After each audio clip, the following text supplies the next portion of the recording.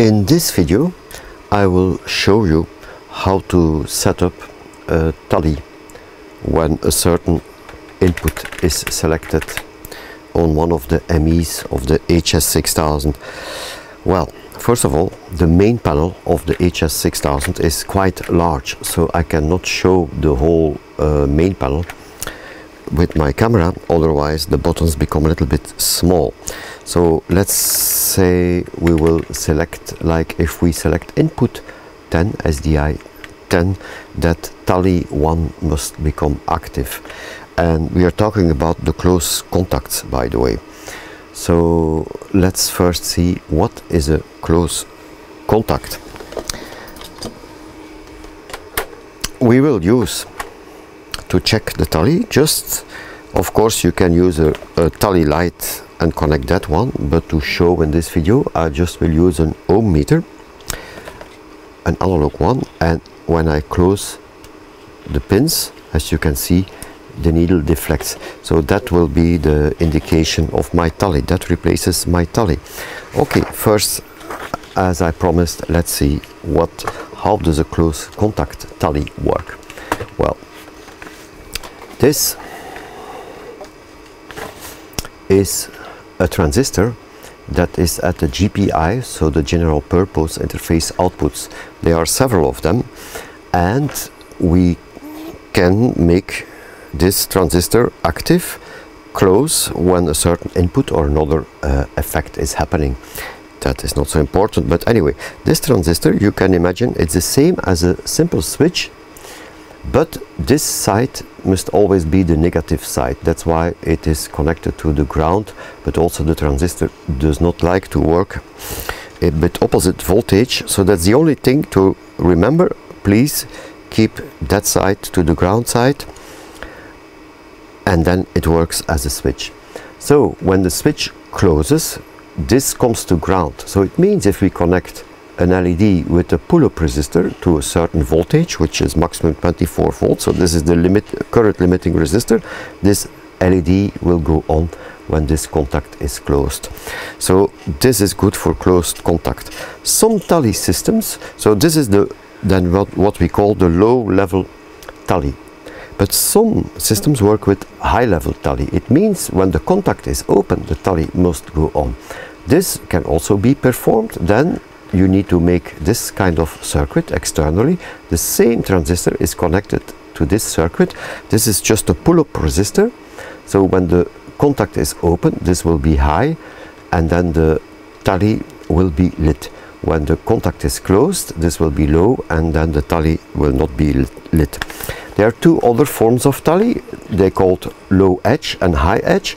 It's the same, it starts the same as, so low edge is just shortly closing this switch when the output becomes active. It does need to be constantly low, it just needs a pulse.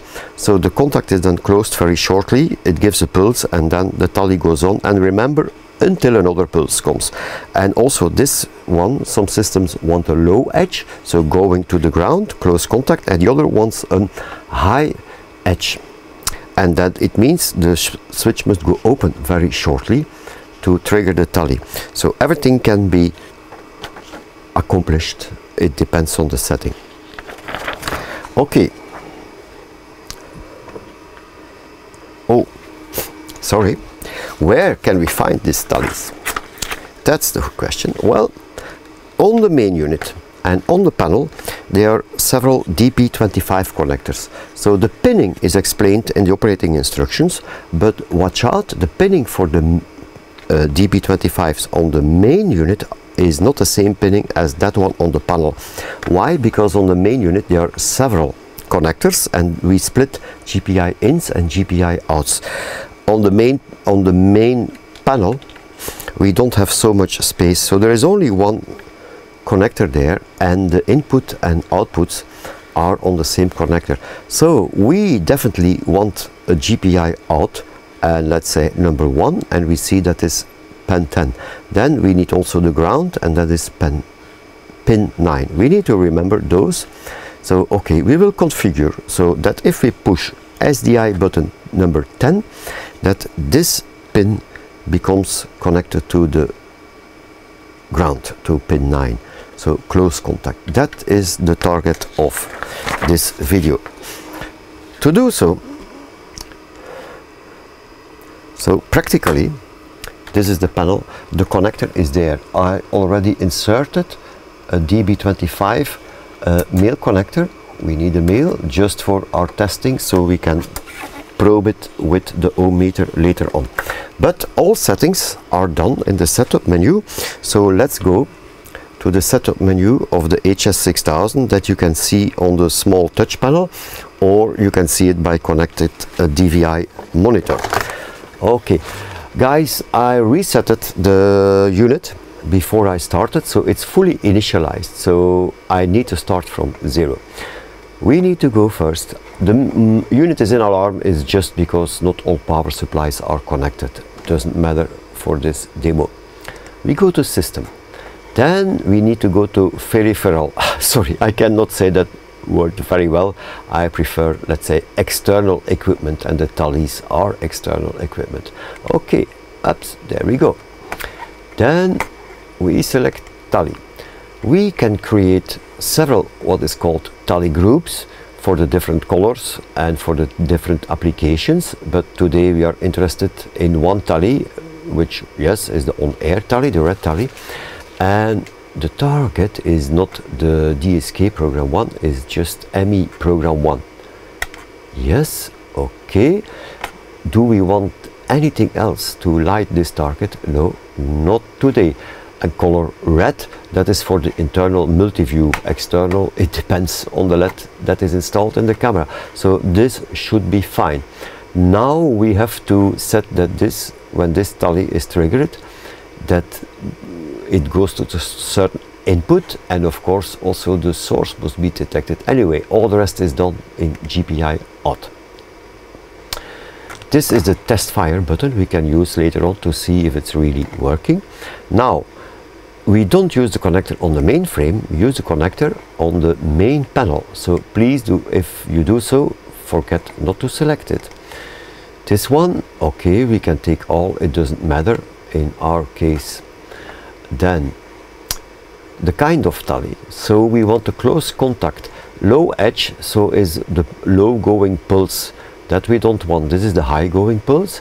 We want a close contact and here it's called low level and this is an open contact by the way so today we select low level yes then the group select it's not ME1 not no no no no we want you remember tally group 1 we configured for that? Yes. Then let's be a little bit lazy. We know it's one of the inputs so we select that we will only see the inputs. Fine.